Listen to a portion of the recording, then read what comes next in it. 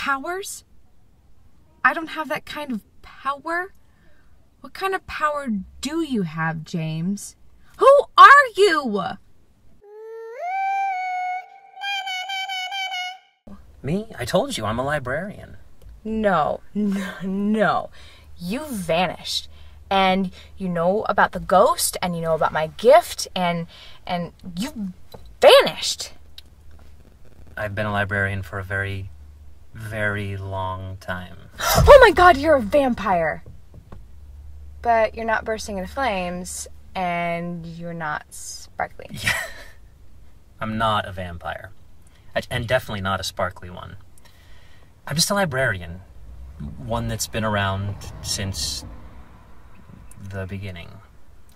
Over the years, people have called me Thoth or Waito. I was even uh, Seshat once. But you can just call me James.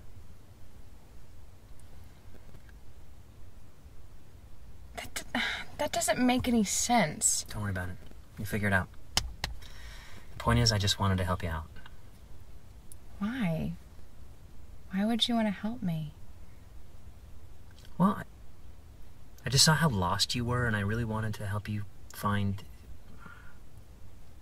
you.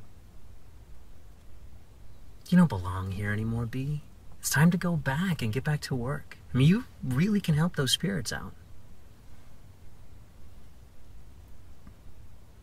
I I don't know what to say. Thank you. Sure. Well. That's the scarf I made you. Yeah, Do you wear it a lot? yeah, pretty much all the time.